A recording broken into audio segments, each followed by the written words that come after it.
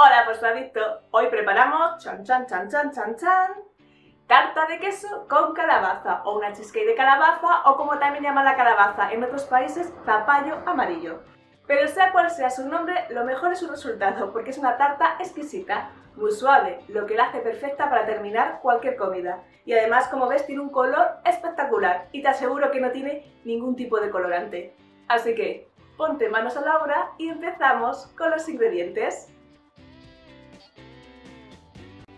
Los ingredientes que vamos a necesitar van a ser para la base almendras molidas, copos de avena molidos y aceite de coco fundido. Para el relleno, queso tipo Filadelfia, panela o azúcar morena, nata o crema batida, miel, huevos, puré de calabaza y canela y jengibre opcionales. Recuerda que en la cajita del vídeo te dejo todos los ingredientes y otras recetas de tartas de queso. Primero vamos a triturar las almendras y los copos de avena hasta que queden como polvo. Yo lo he hecho en este molinillo eléctrico, pero también puedes utilizar el vaso de la licuadora. Una vez listo, lo vamos a mezclar con el aceite de coco fundido, así que como suele estar en estado sólido, simplemente lo introduces en el microondas unos segundos. Y también puedes hacer la base con 180 gramos de galletas molidas tipo María o digestive. Incluso sustituir el aceite de coco por mantequilla fundida. Después, vamos a forrar nuestro molde desmontable de 18 centímetros de diámetro y vamos a extender la base, mientras la compactamos con los dedos o con una cuchara, hasta que nos aseguremos de que está bien repartida e igualada por todo el molde. Ahora vamos a introducir nuestro molde en el horno precalentado a 180 grados durante 8 minutos para que se nos dore la base. Y mientras tanto, vamos a ir preparando nuestro relleno.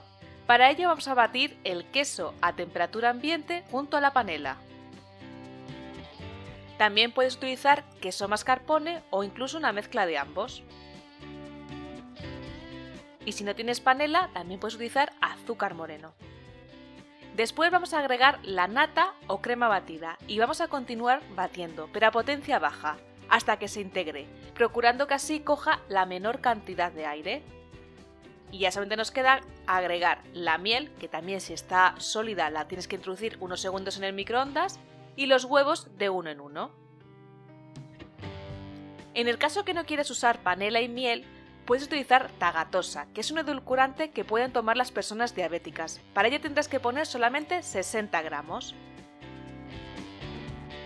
Los huevos siempre recuerda romperlos en un bol aparte para asegurarte que están en perfectas condiciones. Y también ahora es el momento de añadir las especies que son los opcionales, que hemos dicho que pueden ser la canela y el jengibre, aunque también puedes agregarle un poquito de clavo. Y ahora es el turno de nuestro ingrediente estrella, el puré de calabaza. Yo lo pongo en dos tandas y lo importante es tenerlo hecho previamente para que no esté caliente, tiene que estar a temperatura ambiente o frío. Este puré yo lo he hecho en un cazo, he cocido la calabaza en un cazo, pero también en la cajita del vídeo te explico cómo puedes hacerlo tanto en el horno como en el microondas.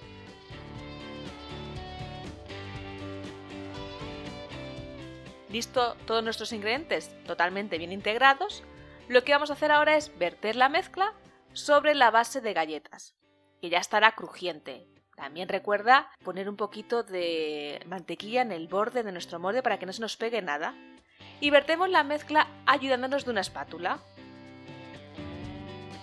Y ahora es el turno de introducir nuestro molde en el horno, precalentado a 150 grados, sobre una bandeja honda en la que habremos puesto como un dedo de altura de agua para que se hornee al baño María, durante una hora y 45 minutos.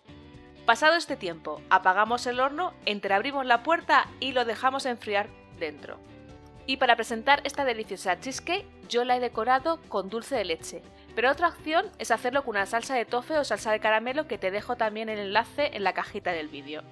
Así que espero que te haya gustado esta cheesecake de calabaza porque su textura es exquisita y como ves tiene un color espectacular. Aunque si quieres que sea un poco más anaranjado, puedes agregar media cucharadita de cúrcuma. Y si te ha gustado el vídeo, espero que le des al like, te suscribas al canal y le des a la campanita para que te lleguen los avisos de los nuevos vídeos. Y si te animas a hacer la receta, envíame una foto o etiquétame en Instagram. Gracias por estar ahí, dulces besos y nos vemos en el próximo vídeo.